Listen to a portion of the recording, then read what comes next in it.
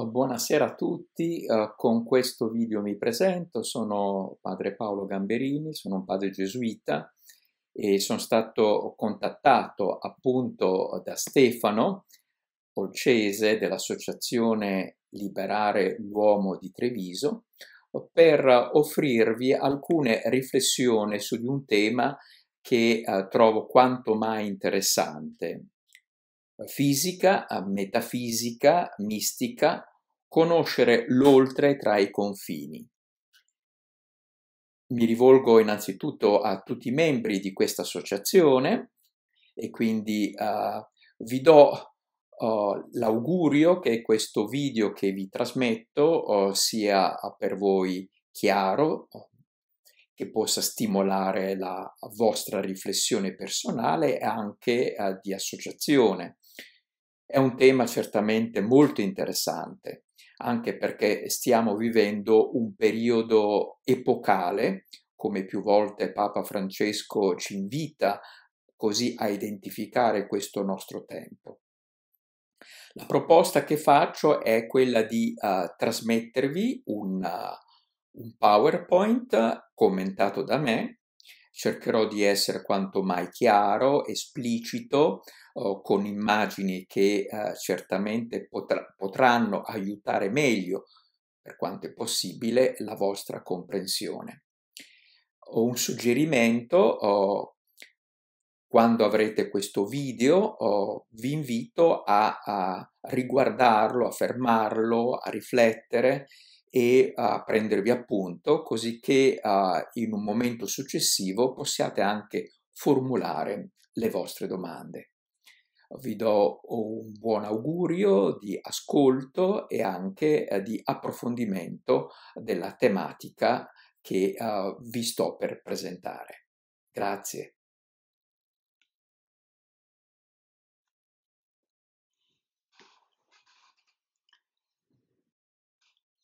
Possiamo allora iniziare con la nostra presentazione, uh, il titolo Fisica, metafisica, mistica, conoscere l'oltre tra i confini. Ho scelto queste tre discipline perché sono quelle che a mio avviso oggigiorno stanno vivendo una rinascita, ma specialmente nel modo con cui queste tre discipline scienza, filosofia e spiritualità, potremmo anche dire, stanno vivendo una epoca di interdisciplinarietà. E vorrei proprio partire da quanto ha affermato una filosofa nell'Avvenire, il giornale Avvenire il 29 maggio scorso. Questa filosofa è Olga Pompo, la quale così riassume quanto oh, vuole uh, in questo articolo dire a proposito uh, del pensare oltre uh, i confini delle singole discipline. Pensare vuol dire infatti, secondo Olga, allargare i confini. Non è dunque un'occasionale convergenza nel lavoro di esperti di discipline, cioè abbiamo lo scienziato che fa il suo lavoro, il filosofo che fa il suo e c'è il teologo o chi si interessa di spiritualità che ha in mano appunto la Bibbia, il filosofo ha i testi sacri della filosofia antica, moderna, contemporanea e lo scienziato ha i suoi esperimenti, i risultati delle sue verifiche. Ciascuno fa il proprio lavoro. Ecco, Dice uh, qui Olga, non è dunque un'occasionale convergenza nel lavoro di esperti di discipline diverse che ci farà trovare preparati di fronte alle emergenze planetarie. Abbiamo una situazione planetaria, immaginiamo il riscaldamento del pianeta, ma molte altre questioni come anche la diffusione della, della povertà, la disuguaglianza sociale che si allarga, bene, queste situazioni di emergenza eh, richiedono una collaborazione, una convergenza non soltanto per il momento, ma sistematica e per questo bisogna ripensare appunto queste tre discipline, cioè la scienza, la filosofia e la spiritualità, ripensarla in una radicale interrelazione.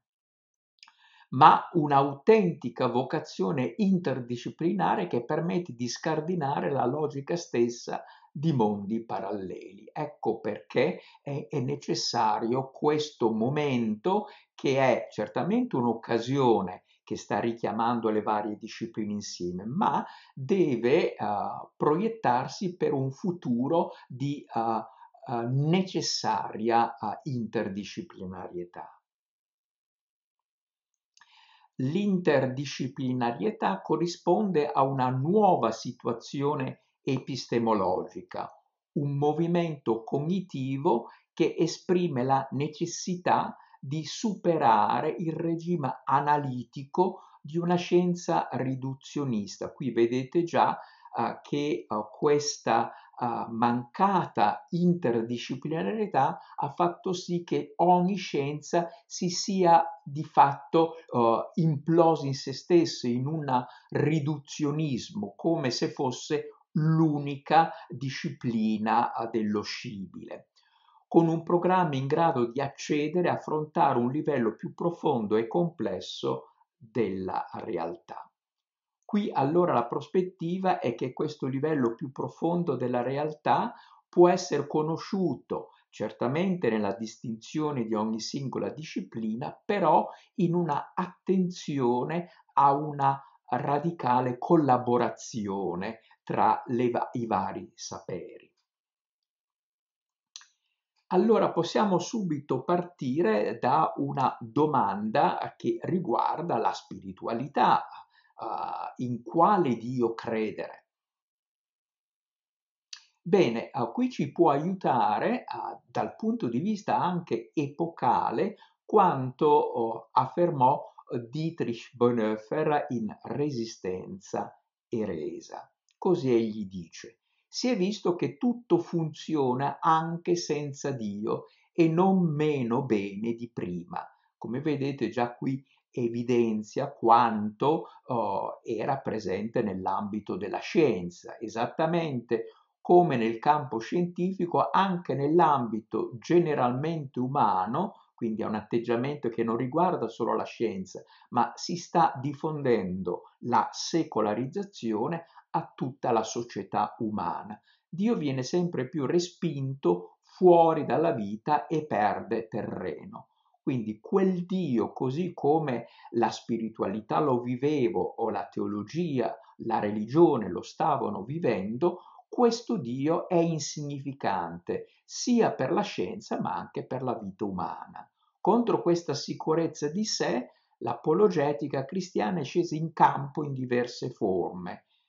Uh, quindi di fronte a questa uh, margin- marginalizzazione della religione, c'è stato una specie di oh, contrattacco da parte dell'apologetica cristiana e anche cattolica per ribadire la necessità di Dio nel dialogo con uh, le scienze.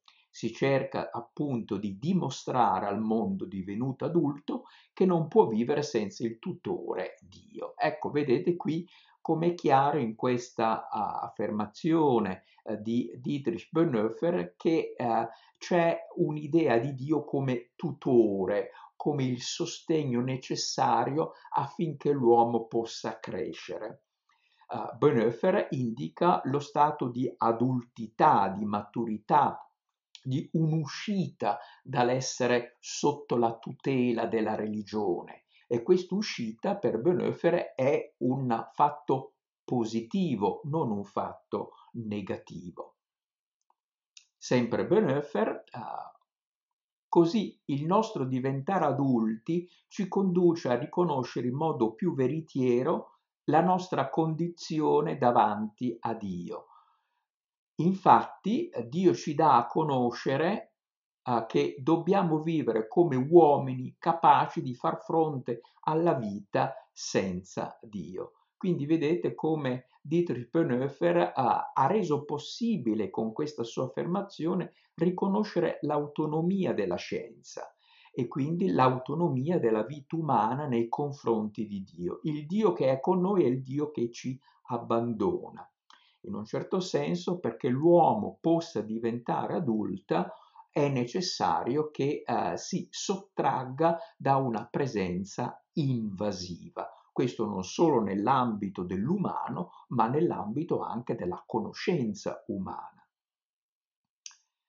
Da un lato, oh, Bonhoeffer riconosce l'avvento dell'uomo diventato adulto, ossia l'arrivo dell'epoca dell'autonomia del soggetto moderno, il quale ritiene di poter fare a meno di qualsiasi realtà trascendente. Dall'altro egli si accorge, Bonhoeffer, del fatto che la marginalità della religione nel mondo, diventato adulto, lascia posto a una caricatura di Dio, il Dio tappabuchi. Ecco, ora, questa figura prima parlava di Dio tutore, un Dio che interviene a sostenere l'uomo e tutte le volte che c'è qualche bisogno, qualche buco nella conoscenza umana, interviene lui come mistero per eh, risolvere tutti i problemi, tutti i casini dell'umano. Bene, questa è una caricatura di Dio e l'apologetica, cioè uh, la religione che vuole difendere il proprio statuto, non deve cedere a questa tentazione. Perché se cede, finisce Dietrich Bonhoeffer in questa uh, sua affermazione, il cristianesimo religioso sarà destinato al declino e alla irrilevanza.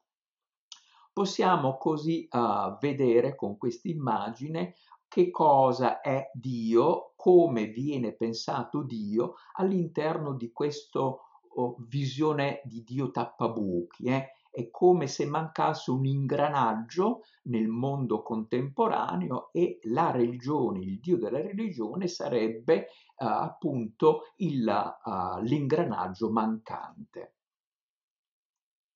Allora, se lasciamo andare questo modo di intendere la religione, di intendere il Dio della religione, in quale Dio allora credere?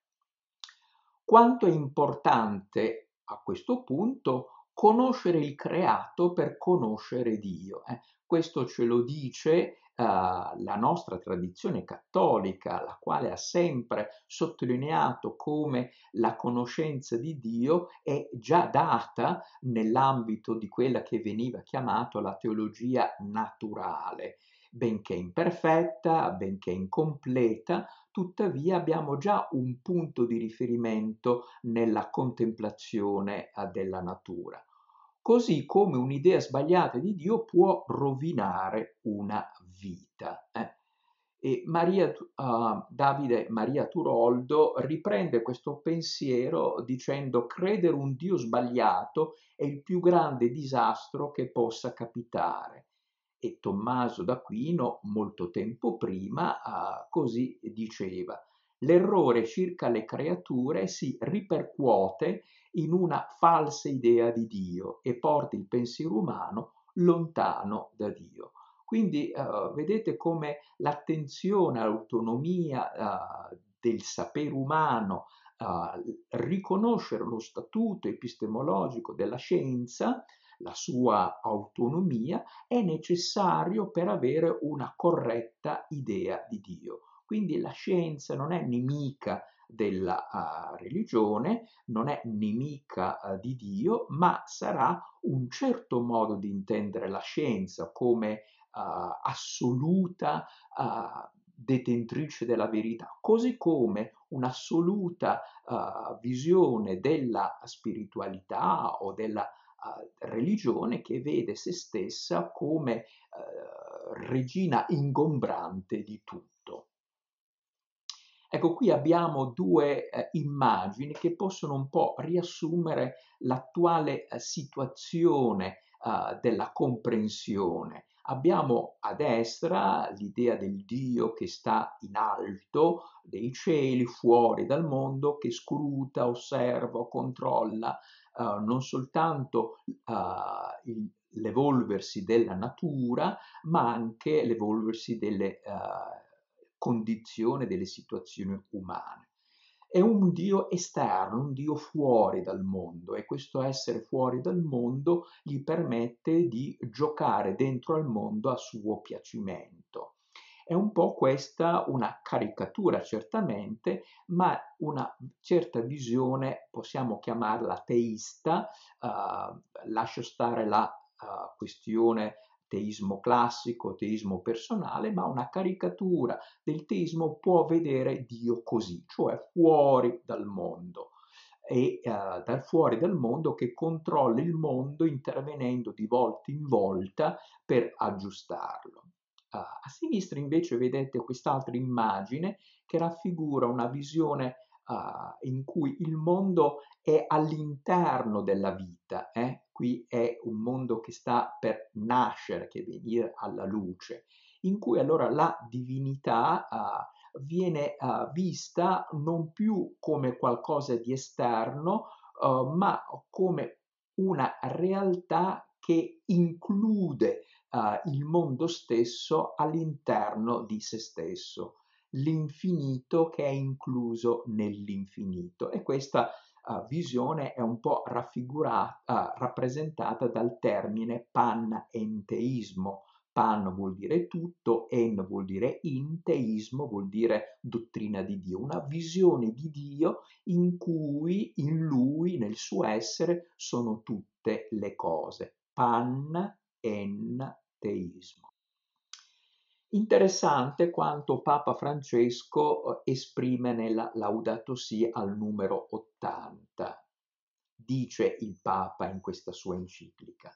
In qualche modo Dio ha voluto limitare se stesso creando un mondo bisognoso di sviluppo, dove molte cose che noi consideriamo mali, pericoli o fonti di sofferenza fanno parte in realtà dei dolori del parto che ci stimolano a collaborare con il creatore. Vedete qui un'immagine dinamica della realtà. Uh, la realtà, il creato, è in via uh, di farsi. Eh? Uh, Dio fa sì che le cose si facciano, ripete sovente Carlo Molari, ma prendendo una frase di Teilhard de Chardin. Così prosegue il Papa. Dio è presente nel più intimo di ogni cosa senza condizionare l'autonomia della sua creatura. Voi vedete come qui eh, il modello che precedenti dicevo, cioè non di un Dio esterno, ma nel più intimo di ogni cosa, è assunto come modello interpretativo anche in questo testo di, uh, della Laudato Si. E anche questo dà luogo alla legittima autonomia delle realtà terrene. Quindi sposa qui l'enciclica una visione, uh, potremmo dire, uh, di uh, bonoferiana della realtà umana e quindi anche della scienza.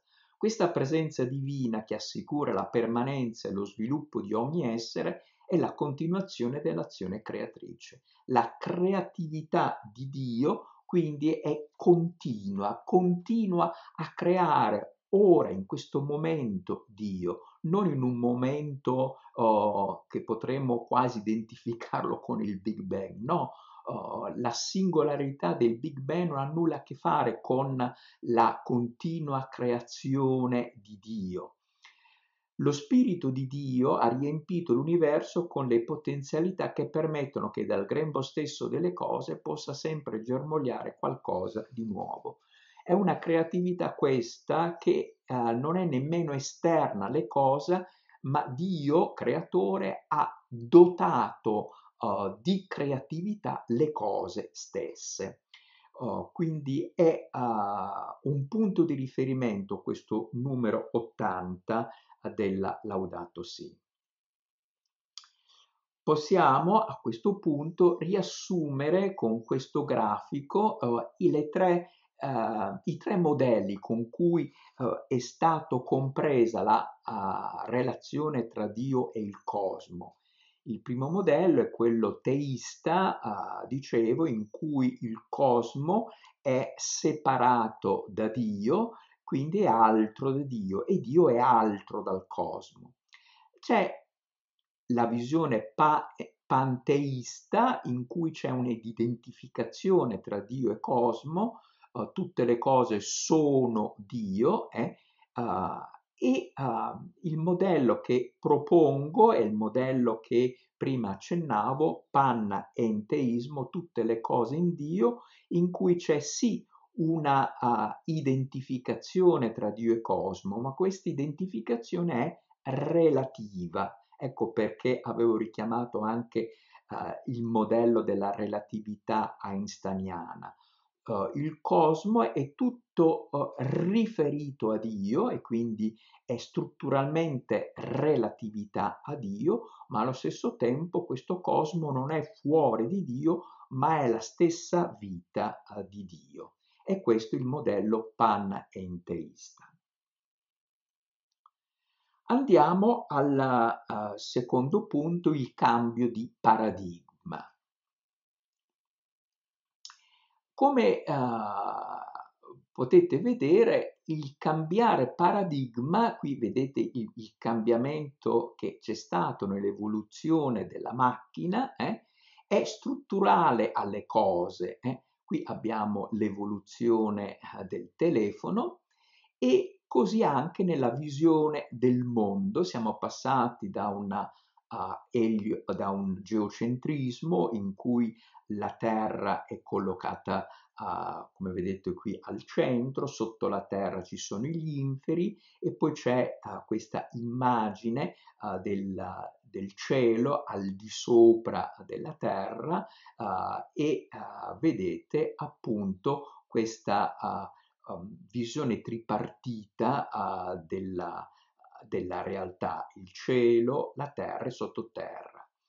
Questa visione dentro la quale tutta la Bibbia è pensata, tutte le immagini, tutte le possiamo dire eh, le raffigurazioni bibliche, le storie bibliche, ma lo stesso oh, Nuovo Testamento, oh, la venuta dal cielo oh, di Dio, la nascita, il, il suo vivere con noi, eh, Gesù di Nazareth, la sua discesa agli inferi e poi la, le apparizioni, il ritornare appunto sulla terra per avere l'ascensione in cielo.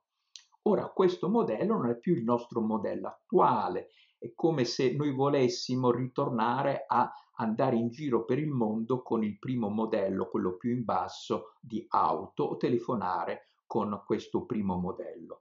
Siamo passati ad una visione successiva anche a livello cosmologico, ma il, il livello cosmologico è poi uh, stato già superato, eliocentrico, con questa visione che vedete uh, più presente di una visione uh, uh, dell'universo uh, che è in espansione. Quindi abbiamo il cambio di paradigma è uh, presente sempre in ogni tipo di sapere. Uh, così si esprime uh, Stuart Kaufman, è, è interessante, uh, questo cambiamento di paradigma uh, porta anche a un ripensare il sacro. Così dice uh, questo uh, biologo. Se nessuna legge di natura è sufficiente per descrivere l'evoluzione della biosfera, cioè della vita, eh, dell'evoluzione tecnologica della storia umana, che cosa prende il suo posto? Eh? Non c'è più il Dio che dall'esterno interviene. Chi prende il suo posto? Uh, così è la risposta di Stuart Kaufman, una meravigliosa creatività radicale senza un creatore soprannaturale. Vedete qui come traduce questo autore, uh, dicevo appunto un, un biologo, uh, questa um, visione del sacro, del divino affacciatevi alla finestra e guardate la vita che brulica. Semplicemente il Sole splende da quasi 5 miliardi di anni e la vita ne ha compiuti 3,8 eh, di uh, miliardi di anni. Uh, la vasta riva lussureggiante di vita, per rievocare la celebre espressione di Darwin, è nata con le sue sole forze, è il principio dell'autonomia a cui faceva riferimento il Papa. questa trama della vita, e qui importante il concetto di trama, eh, di matrice, il sistema più complesso che conosciamo nell'universo non viola alcuna legge della fisica, eppure al contempo senza legge incessantemente creativa. Uh, qui accanto vi ho messo questo mare che si muove in continuazione, che manifesta, esprime questa vita, questa creatività. Ciò vale anche per la storia dell'uomo e per la vita umana. Questa creatività è sorprendente, terrificante, non possiamo ignorarla. E così conclude eh, Stuart Kaufmann. Una concezione di Dio è che Dio è il nome da noi scelto per questa incessante creatività dell'universo naturale, della biosfera e delle culture umane. Qui è ben espresso appunto da questo autore come l'idea del divino si è uh, aggiornata, uh, se così possiamo dire. Quindi c'è un cambiamento di paradigma anche nel modo di intendere Dio. Di questo cambiamento, di questa dinamicità, eh, già uh, ne parlava il Concilio Vaticano II nella Gaudium Spes numero 5.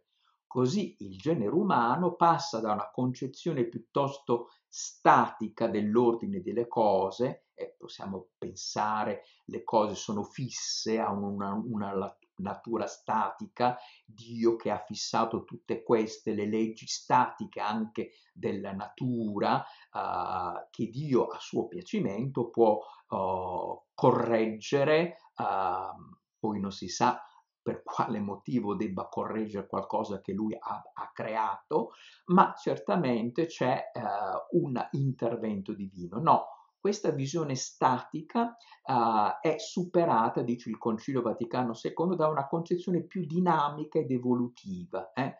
dall'imperfezione verso la perfezione. Uh, sempre maggiore. Ciò favorisce il sorgere di un formidabile complesso di nuovi problemi che stimola ad analisi e a sintesi nuove. Le sintesi vuol dire che le varie discipline, scienza, spiritualità, metafisica, filosofia, sono chiamate ad arrivare ad una sintesi nuova, proprio in una forma quasi di uh, contaminazione, di meticciato, di porosità.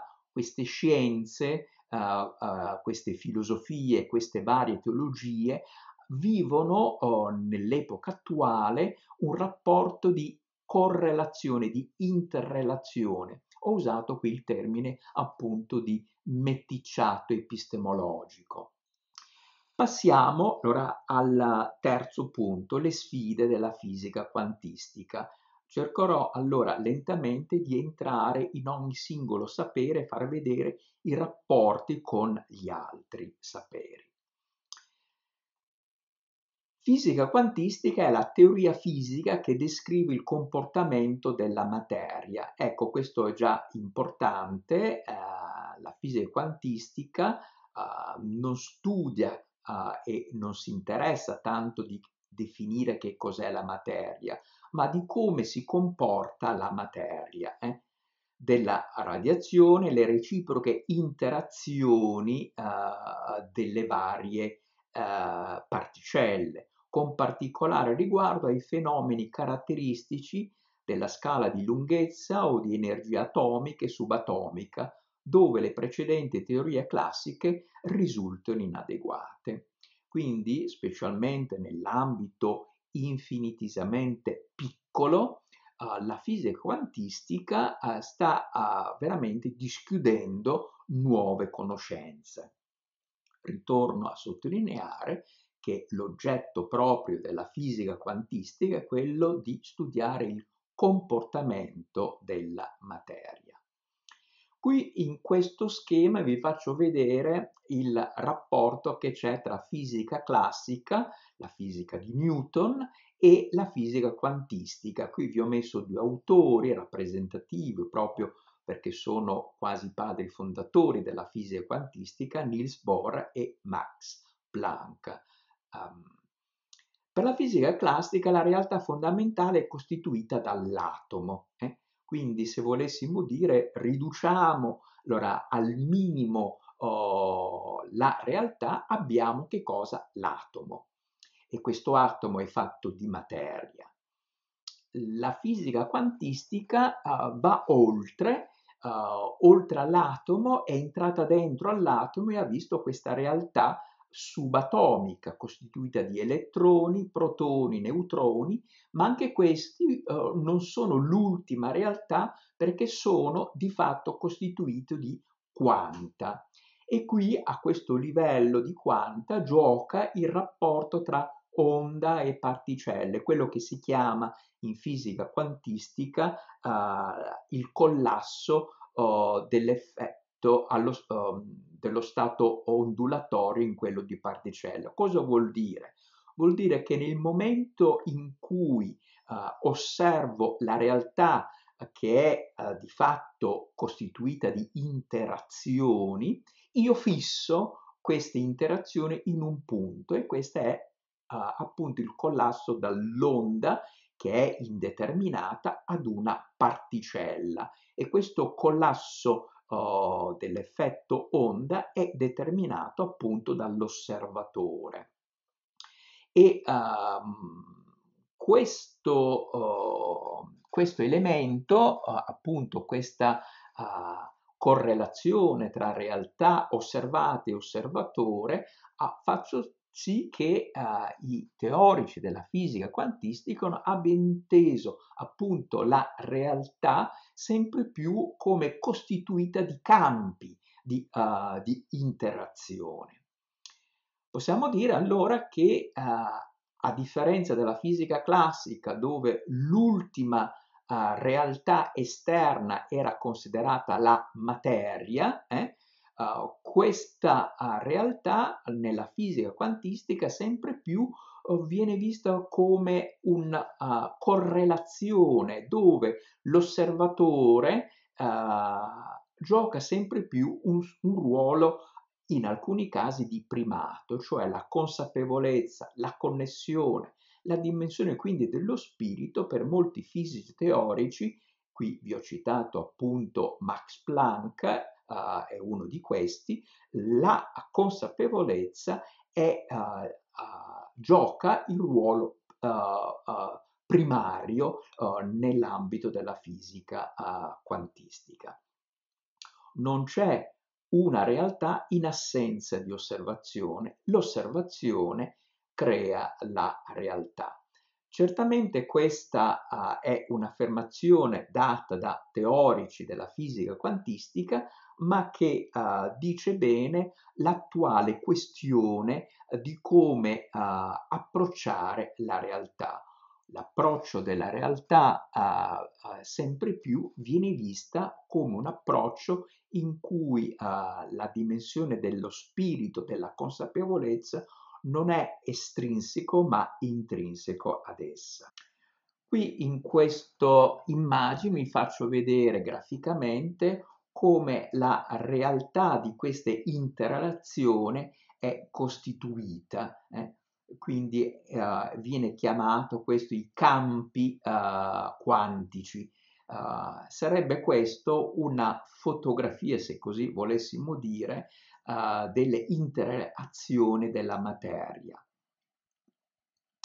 Riassumendo, allora abbiamo visto che la materia non è più l'ultimo approdo della realtà, ma oltre alla materia abbiamo gli atomi, oltre gli atomi le particelle subatomiche, oltre a questo le vibrazioni di energia, parlavo prima dello stato ondulatorio, abbiamo visto anche prima l'immagine grafica uh, di questo movimento, uh, ciò che viene chiamato campo unificato della realtà, e uh, sta emergendo sempre più anche il, il, termine di vuoto, cioè di potenzialità della realtà stessa. E questo vuoto, oh, teorici della fisica quantistica, identificano oh, sempre più con la consapevolezza ed è questa consapevolezza che uh, uh, si esprime uh, nella sua dimensione di esteriorità in queste varie manifestazioni. Quindi la materia vista come una espressione della consapevolezza. Potremmo anche utilizzare il termine una rappresentazione della consapevolezza. Uh, dal punto di vista della spiritualità, allora uh, possiamo parlare uh, di una divina consapevolezza che è questa consapevolezza cosmica o questa consapevolezza originaria che creatrice è continuamente creatrice di una realtà che è uh, campo uh, quantico, che è uh, correlazione continua di tutte le cose.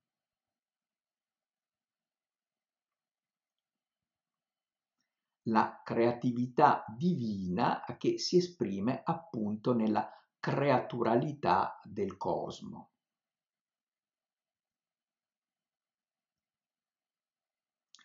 potremo uh, allora capire perché Teilhard de Chardin uh, nella sua indagine, nella sua ricerca, certamente anche con toni mistici, abbia parlato di questo movimento di unificazione di tutte le cose uh, mosse appunto dall'amore, perché l'unificazione verso il punto amore, uh, il punto omega, è proprio una uh, modalità con cui si esprime l'amore. L'amore non è altro che spirito, lo spirito è principio di unificazione, questo spirito creatore, questa creatività divina che sta unificando, creando, uh, muovendo tutta la realtà verso sempre una maggiore complessità.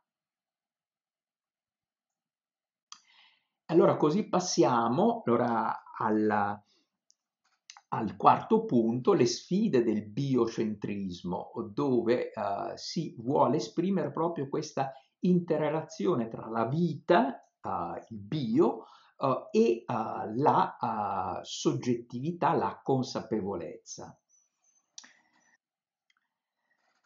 È interessante che a questo livello in un testo apparso sulla civiltà cattolica due anni fa, uh, già ci si chiede uh, come questa uh, relazionalità possa di fatto essere presente nella stessa evoluzione umana. Così si esprime questo gesuita Johann Verschuren. La caratteristica del nostro genoma, quindi siamo a livello di biologia, è quella di creare possibilità inaspettate di trascendere i propri limiti. Vedete qui questa um, potenzialità di cui face, faceva, parlava la fisica quantistica, di queste potenzialità di tutte le cose, eh? uh, di questo campo quantico, uh, di trascendere i propri limiti. È dinamico questa potenzialità e questo autotrascendenza, andare sempre oltre, dice proprio il movimento dello spirito. E d'altra parte il nostro modo di pensare che è capace di influenzare l'evoluzione del nostro genoma. Qui vedete che c'è una interazione tra il nostro modo di pensare, quindi uh, la nostra evoluzione uh, mentale influenza la stessa evoluzione del genoma. Uh, soggettività e oggettività, se volessimo dire così, ma anche spirito e materia non sono separati, ma si influenzano l'uno con l'altro. C'è uh, un principio uh, uh, fondamentale, e qui mi rifaccio agli studi di Robert Lanza in un suo testo proprio dal titolo Biocentrismo, è un biologo, questo Robert Lanza, ha formulato dei principi. Il primo principio che lui esprime di questa tendenza biocentrica è il seguente. Quello che noi percepiamo come realtà è un processo che coinvolge la nostra coscienza. Se esistesse una realtà esterna a noi, eh, stessi dovrebbe trovarsi in uno spazio, ma lo spazio e il tempo non sono assoluti, sono solo strumenti usati dalle menti umane e animali. Voi vedete allora come uh, in questo principio del biocentrismo uh, non si dà un mondo esterno a noi, ma noi siamo mondo, uh, siamo una cosa sola con il mondo. È appunto una evoluzione del modo di concepire la vita, eh? non più meccanica ma coinvolgente lo stesso soggettività della consapevolezza. Il secondo principio, le nostre percezioni interne e esterne sono collegate in modo inestricabile, eh? eh? sono come le due facce di una moneta, non possono essere separate. Quindi ehm, la tesi di, B, uh, di Teilhard de Chardin che diceva appunto che esterno e interno sono due dimensioni dell'unica realtà. Terzo principio, il comportamento delle particelle subatomiche, in realtà di tutte le particelle e oggetti che percepiamo, sono collegati in modo inestricabile ad un osservatore. Senza la presenza di un osservatore cosciente esiste solamente uno stato indeterminato di onde di probabilità. Quindi vedete anche qui di nuovo oh, il mondo è così come lo osserviamo, ma dove qui così come lo osserviamo, verrò fra poco a precisare che non si intende tanto io, tu, egli, ma che noi partecipiamo di una consapevolezza cosmica, eh, possiamo dire di una consapevolezza originaria e con una parola di carattere certamente uh, spirituale, noi siamo nella mente divina e questa mente divina che avvolge tutte le cose uh, si partecipa nelle nostre menti individuali e noi vediamo alla, a partire dalle nostre menti finite individuali il mondo così come è, cioè rappresentato uh, e lo vediamo come materia, come uno, in uno spazio e in un tempo. A questo punto uh, potremmo riferirci a Carlo Rovelli nel suo libro Elgoland, recentemente pubblicato, in cui lui, uh, da uh, fisico teorico, afferma che uh, la migliore descrizione della realtà che abbiamo trovato, oh, parla appunto oh, della uh, teorica uh, della fisica quantistica, è in termini di eventi che tessono una rete di interazioni. Gli enti uh, non sono che effimeri nodi di questa rete. quindi uh, intende qui uh, Rovelli la realtà come una rete di interazioni e i punti in cui queste varie relazioni si incrociano sono dei nodi eh, e i nodi potremmo vedere gli enti finiti, le realtà finite, potremmo anche parlare di, uh, di, a, di atomi, di particelle, uh, ma la realtà nella sua sostanza è costituita di interazioni le loro proprietà uh, non sono determinate che nel momento di queste interazioni, cioè gli enti, eh, gli, enti gli atomi, non sono oh, fissi, uh, statici, uh, ma sono continuamente la risultante di queste interazioni e lo sono solo in relazione ad altro. Ogni cosa è solo ciò che si rispecchia in altre. C'è appunto un gioco di uh, interrelazione. Possiamo passare al quinto punto, la comprensione della realtà. Abbiamo già visto queste due parole, interrelazione, interazione, consapevolezza, come le due eh, caratteristiche eh, del nuovo paradigma non solo oh, della fisica teorica, ma anche uh, del rapporto che la spiritualità cerca di avere con questa scienza, la fisica quantistica, ma anche con il biocentrismo. Qui vorrei uh, rifarmi ad una questione dibattuta specialmente uh, nell'ambito dei teorici della fisica quantistica. Due posizioni diverse, una di Rovelli e l'altra invece del, fi- uh, del fisico Federico Faggin. L'interazione, ci chiediamo, è consapevole? È una realtà consapevole? La risposta di Rovelli è non c'è nulla di speciale nelle osservazioni della meccanica quantistica, qualunque interazione tra due oggetti fisici vale come una osservazione. Dunque da fisico uh, e da fisico teorico uh, dice Rovelli che uh, la fisica quantistica si deve fermare alle interazioni. Tuttavia, in tale affermazione di Rovelli sembra escludere dal punto di vista teorico una interpretazione uh, soggettivo di consapevolezza delle osservazioni. Di altro avviso invece è Federico Faggin, il quale appunto dice la fisica ci dice che anche i campi quantici devono avere sia una realtà esterna sia una realtà interna.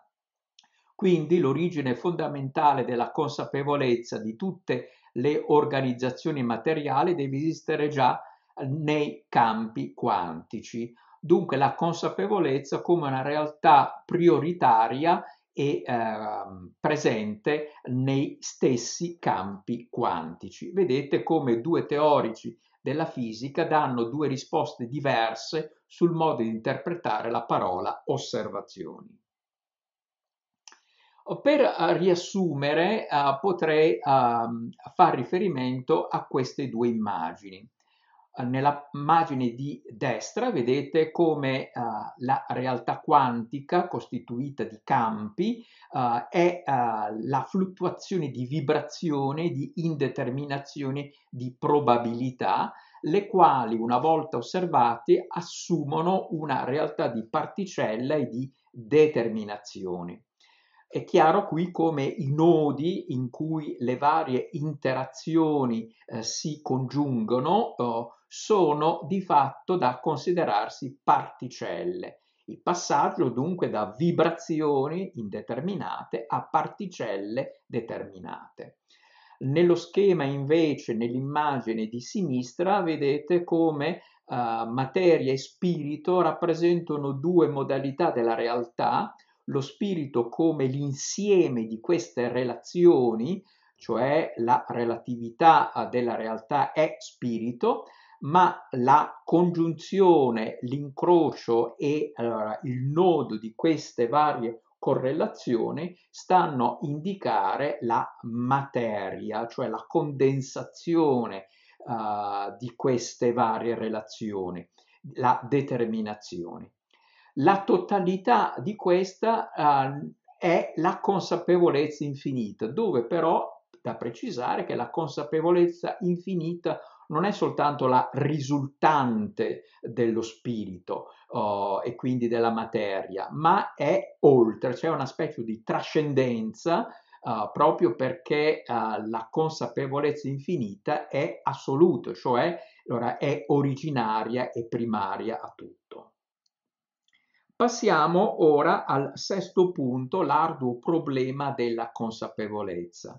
È il problema di come eh, possono realtà fisiche o stati fisici della realtà eh, dar vita a stati mentali, ovvero eh, la mente, la mente deriva dalla materia totalmente oppure la uh, um, gli stati fisici sono il risultato invece della mente. Due indirizzi diversi. L'uno, uh, tutto deriva dalla materia, è detto materialismo, fisicalismo, in una forma più uh, moderata emergentismo, cioè spi- la mente uh, emerge uh, dal muoversi dalla complessità della materia, oppure l'altra visione se la materia non è altro che una rappresentazione uh, dal punto di vista uh, della mente finita della uh, consapevolezza originaria.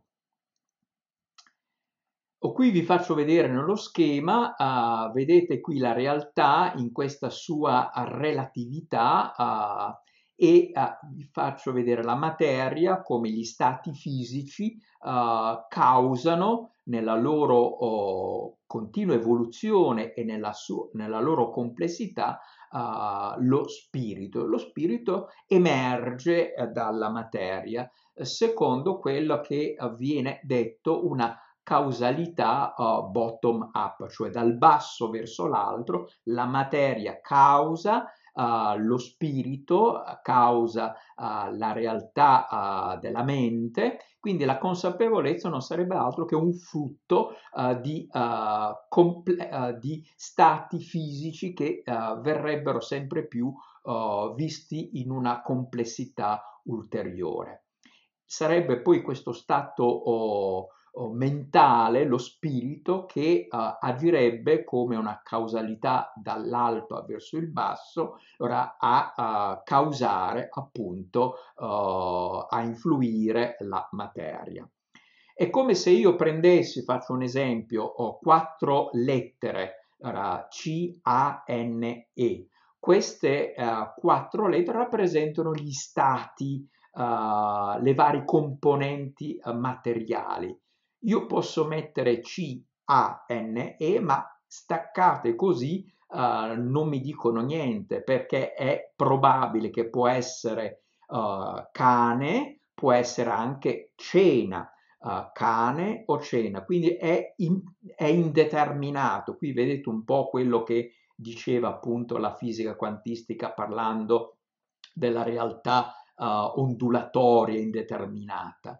Chi è che decide se è l'uno o l'altro, è l'osservatore, uh, per cui uh, queste quattro lettere uh, C, A, N, E dà vita a cena o cane. Quindi la totalità delle lettere sarebbero tutte quattro C, A, N, E, la totalità delle lettere di fatto è indeterminata, cioè non ci dice cane, quindi Um, è importante uh, questo esempio per farci capire che um, è insufficiente dire che la materia uh, è la realtà ultima da cui uh, tutta la realtà deriva proprio perché in questo modo oh, uh, si riduce lo spirito a materia, la novità dello spirito non emergerebbe. Ciò che qualifica la novità dello spirito uh, non sarebbe appunto spiegata uh, se tutto si riduce a materia. In questo modo oh, questo è il problema uh, difficile da risolvere, l'arduo problema della consapevolezza. Uh, un altro esempio, se io oh, paragono la materia al numero 5 e lo spirito al numero 10, come si fa a passare dal 5 al 10?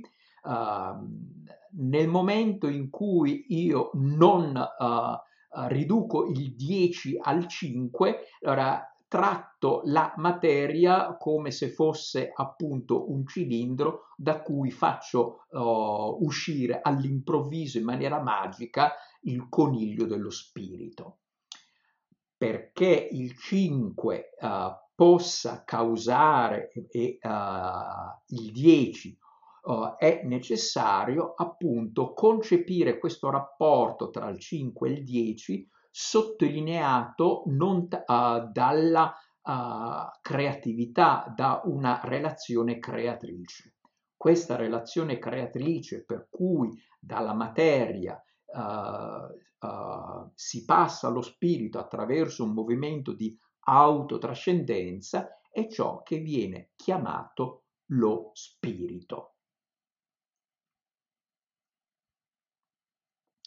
A questo punto oh, possiamo oh, affrontare uh, l'ultima questione. Uh, a questo punto possiamo affrontare la penultima questione verso un'unificazione di fisica, metafisica e mistica. Uh, la fisica uh, ha al suo uh, nucleo, nel suo nucleo centrale di riflessione, la questione della interazione delle, della materia. Il biocentrismo pone al centro oh, la consapevolezza in rapporto alla vita, la metafisica in particolare, ma in generale la fisica, uh, parla della uh, realtà ultima. Fisica, interazione, il biocentrismo, la consapevolezza in rapporto alla vita, la metafisica, la questione della realtà ultima. Infine la spiritualità eh, che eh, ha, come dice la parola spiritualità, suo oggetto proprio è lo spirito. Queste quattro discipline eh, vedete che interagiscono tra di loro perché hanno tutte a che fare con oh, la descrizione della realtà ultima come una realtà che è uh, costitutivamente di interazione e di uh, relatività, di consapevolezza che possiamo chiamare questa consapevolezza spirito. E allora, um, proprio per avviarci verso questa unificazione di fisica, metafisica e mistica, possiamo vedere uh, tre autori. Per quanto riguarda la fisica quantistica, Niels Bohr, per quanto riguarda Meister Eckhart, la metafisica del nulla, eh, potremmo dire quasi una metafisica del vuoto, uh, e uh, Teilhard de Chardin la figura del Cristo cosmico come dimensione mistica. Max Planck, tutta la materia ha origine ed esiste solo in virtù di una forza che porta le particelle di un atomo a vibrare e tiene insieme questo più piccolo sistema solare dell'atomo. Uh, dobbiamo assumere che dietro questa forza ci sia una mente cosciente e intelligente. Questa mente è la matrice di tutta la materia. Qui Max Planck, vedete, padre della fisica quantistica, pone uh, come sostrato della materia una mente creatrice, quindi una consapevolezza creatrice. Dal punto di vista della metafisica, un brano tratto dai sermoni tedeschi di Meister Eckhart, l'uno è una negazione della negazione. Eh? Sta parlando appunto di questa realtà ultima. Tutte le creature portano in sé una negazione. Uh, dice Eckhart, l'una nega di essere l'altra. Il cane non è il gatto il gatto non è l'uomo, quest'uomo non è quest'altro uomo. C'è una negazione che abita all'interno di ogni creatura. Dio invece ha una negazione della negazione, cioè uh, è una negazione che abita uh, l'essere divino, ma è uh, nell'essere divino, quindi vedete questa visione panenteistica, in quanto viene dall'essere stesso divino negata, eh? negazione della negazione. E qui possiamo vedere non solo il vuoto, ma uh, la pienezza di questo vuoto che è Dio stesso. Egli è uno e nega tutto il resto perché niente è al di fuori di Dio. Chiaro qui uh, l'allusione appunto al panenteismo. Tutte le creature sono in Dio e sono la sua propria divinità e questo significa la pienezza. Quindi ogni creatura, proprio perché in Dio, è, è manifestazione, teofania, espressione di questa creatività divina. La potenzialità di ogni singola cosa creata è espressione della onnipotenza divina. Dio è un padre della intera divinità. Dico perciò divinità perché là niente sgorga, niente viene toccato o pensato. Nel fatto di negare qualcosa a Dio, ad esempio la bontà, ma in verità non negare nulla a Dio, dunque nel fatto di negare qualcosa a Dio, io concepisco qualcosa che egli non è e proprio questo deve sparire. Dio è uno, è una negazione della negazione. questa visione di Meister Eckhart, questa metafisica del nulla, uh, dischiude, come vedete, uh, Dio oh, nella realtà dell'ineffabile. Per quanto riguarda la mistica, uh, ho scelto Teilhard de Chardin, Uh, nel fenomeno spirituale, così uh, si esprime questo gesuita paleontologo. Considerate nella sua interezza, nella sua totalità temporale e spaziale, la vita rappresenta il termine di una trasformazione di grande ampiezza, durante la quale quella che chiamiamo la materia eh, si inverte, si avvolge su di sé, si interiorizza. Eh? Quindi richiama qui il termine di Federico Faggin della consapevolezza. Noi potremmo dire che l'interiorità della materia è lo spirito, laddove la materia è la sua rappresentazione esteriore si interiorizza e nei nostri confronti l'operazione copre l'intera storia della Terra. L'evoluzione dunque è un movimento verso una sempre maggiore interiorizzazione che è l'interiorizzazione dello spirito.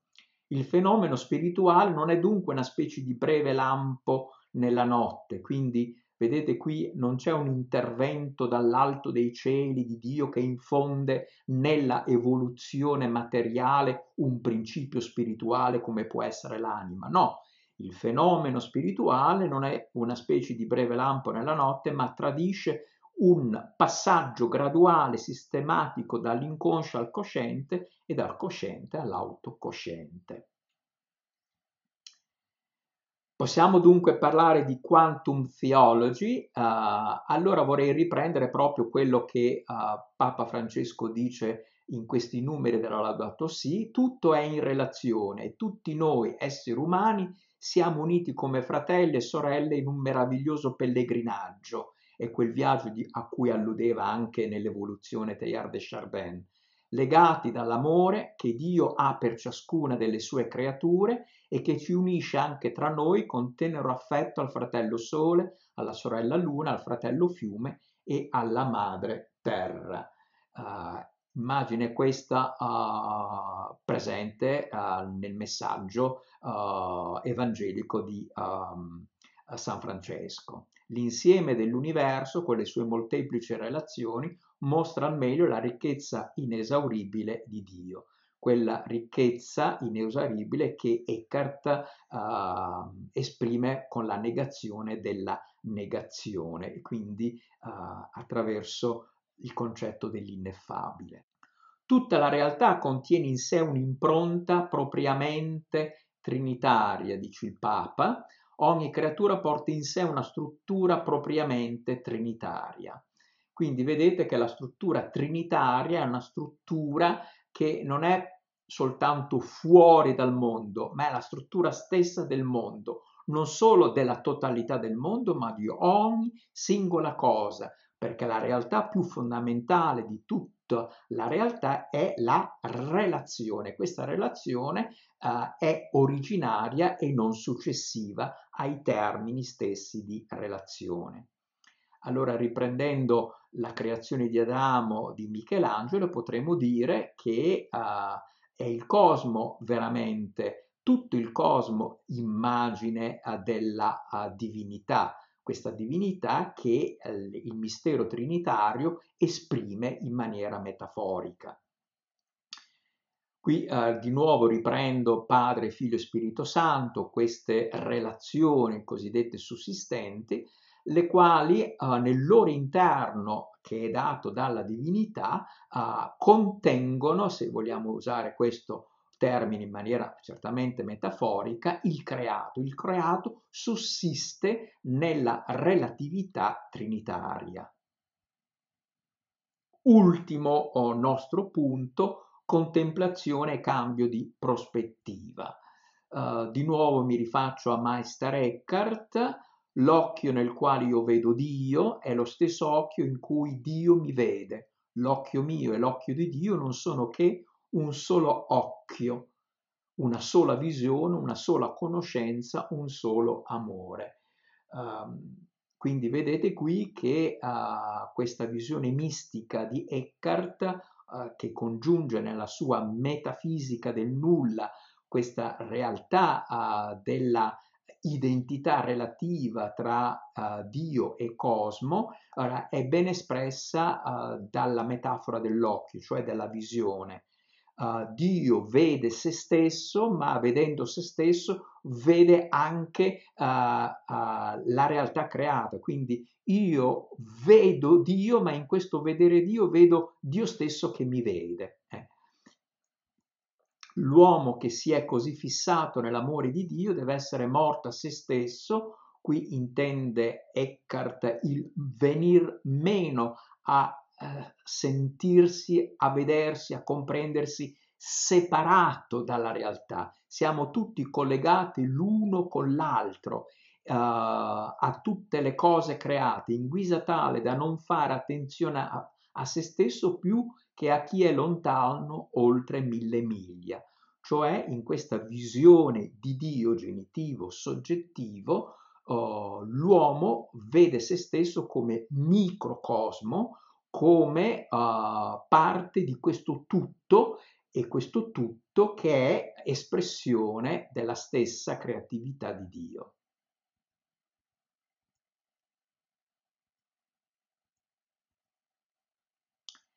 Ecco perché Karl Rahner, prendendo un'espressione che uh, ha però uh, Raymond Panikkar come sua origine, viene ad affermare che il cristiano del futuro sarà mistico o non sarà neppure cristiano, anticipando quanto questa nostra epoca di interdisciplinarietà ci sta facendo scoprire, cioè come tutta la realtà è uh, una rappresentazione della consapevolezza della mente divina e quindi della sostanza trinitaria.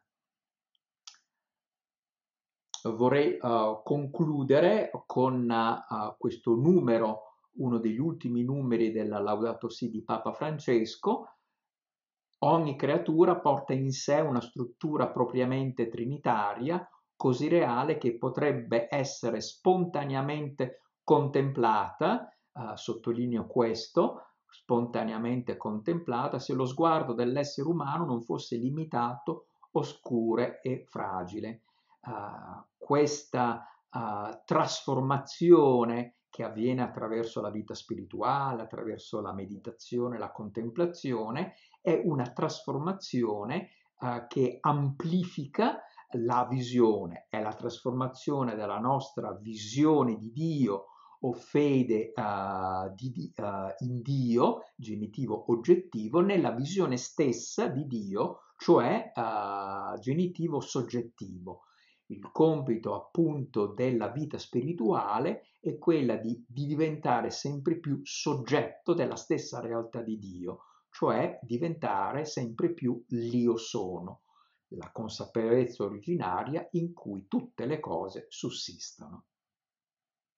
Grazie dell'ascolto e uh, lascio a voi il tempo per uh, maturare, uh, riflettendo, riprendendo queste mie riflessioni e formulando così domande.